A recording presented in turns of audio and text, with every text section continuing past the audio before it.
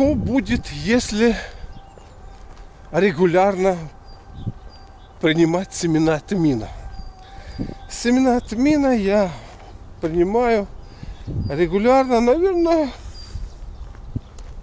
так, 19 18 ну где-то два года точно. Что я хочу сказать? Вот у многих людей герпес. И как-то против него такое противоядие найти довольно-таки трудно. Как утверждает герпес, это на всю оставшуюся жизнь. Ну пускай там он на всю оставшуюся жизнь. Но главное, чтобы он не показывал себя. Потому что герпес такая ерунда, которая, знаете, потихонечку тлеет в нашем организме и разрушает его. Изредка, так сказать, во время простуд, появляясь на губах. И у меня это было. Было, что я греха буду таить. Было расстройство пищеварения. Какое расстройство пищеварения? Это очень важно. А именно, многие считают, что вот у них там стул нормальный. А на самом деле он далек от нормы. Первое. Когда у человека есть постоянные зловонные пуки. То есть в течение дня он там, ну, раз 10, 20, а то еще и больше, смотря от того, что он поест, так сказать, и спустит зловонный дух – хихи-ха-ха-хо-хо-хо, все это нормально там. Все это якобы нормально. На самом деле нет. Идет разрушительная работа в кишечнике. Пока еще организм молод, то все это как-то еще там справляется, а потом, значит, только трах-бах, и пошло там сердце, сосуды, суставы, и вплоть до того, что разного рода там опухоли могут быть. По коже какая-то неприятная ерунда идет. Вот все это следствие того, что в кишечнике имеется болезнетворная микрофлора, микрофлора, которая, знаете, вы своей жизнью живете, она живет своей. У нее своя задача. Жить там, размножаться, за счет нашей глупости. Мы ее там подкармливаем сахарком, чайком, вот этими всеми этими продуктами там такие. Вот. Естественно, продукты э, трудновато заменить. Потому что хлеб, вот мы, хлеб основной продукт. Вроде бы вещь хорошая. Но современный хлеб, он сплошь и рядом осеменен грибками.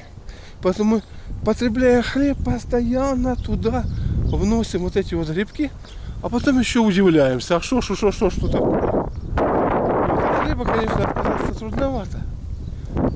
Так вот, когда мы понимаем, вот что я делаю в течение вот этих вот с лишним летом, где-то, наверное, года три, я встал, это у меня уже ритуал. Так, наверное, не будет. Это как ритуал. И я беру, первым делом встал, спустился там, умылся. Беру чайную ложечку свою любимую, примерно половина чайной ложечки семян тмина. Сначала я там черный ел, потом я его съел. У меня остался серый.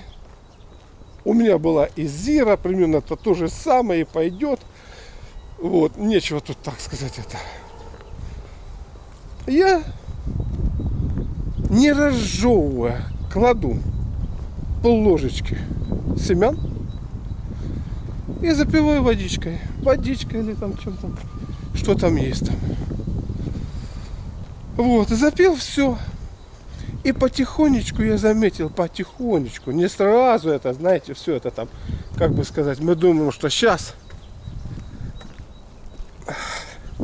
то, что мы с вами в течение 60 с лишним лет, это я так свой возраст беру, а, вырастили в виде там какой-то среды, в виде какой-то болезнетворной микрофлоры у себя в организме, ее не так-то просто выковырнуть. Я рассказывал себе, что у меня были в детстве череки, там это такое, и герпес был, и, и, и все там такое, пятое, десятое, что говорит о том, что организм вот это вот бяка-кака поедом ест. Но мы-то не знаем, вроде у окружающих такое бывает, ну бывает, ну и ну все, вроде как прошло, потом там опять.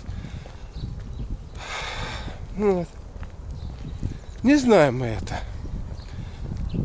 И только наблюдательность таких светочей, как я, позволяет сопоставить эти все вещи и найти вот такие простые средства, которые великолепно действуют не только нормализуя микрофлору,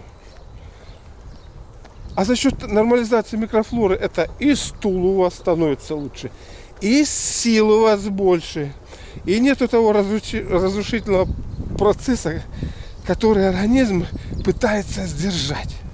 Он тогда уже направляет эти силы просто вот на развитие. И, естественно, вот эти вот манифестации герпеса прекращаются.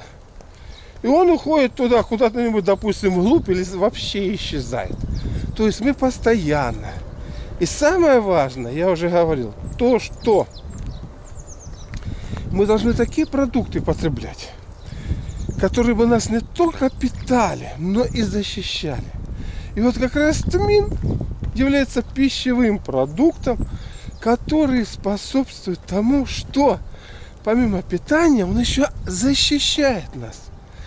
Я не разжевывая, глотаю эти семена черного тмина, серого тмина или зиры, то, что у меня есть. Я думаю, что можно даже и укропа.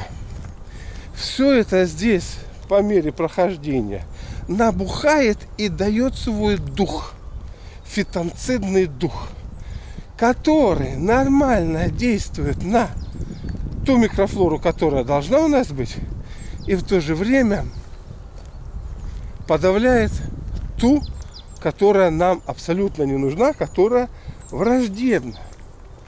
Так будут исчезать калиты. Вот, вот калит. Ну что, калит, воспаление слизистой оболочки кишечника. А что она, от чего она выйдет там?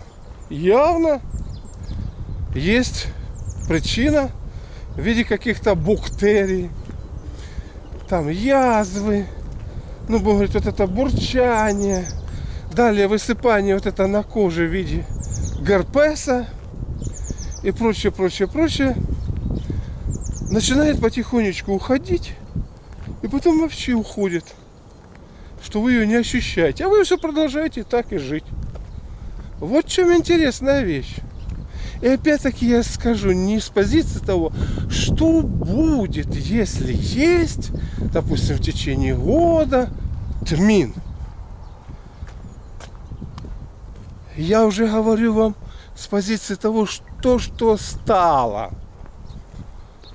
Когда я проел этот тмин где-то около регулярненько, понимаете, вот, регулярно, несмотря на то, что что-то то-то, что-то то-то, я тминчик только раз и все. Герпес поджал хвостик, поджал хвостик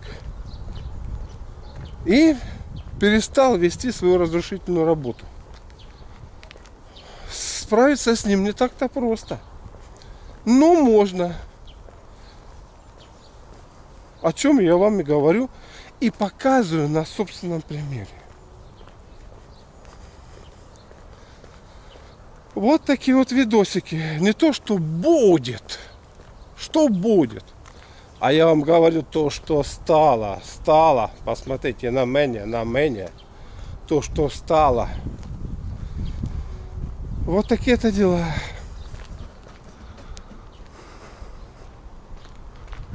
И я проходил 67 минут, 4 километра. Проходил не спеша, в охотку. Покормил этого черного кабеля. И сейчас отправляюсь домой. Все.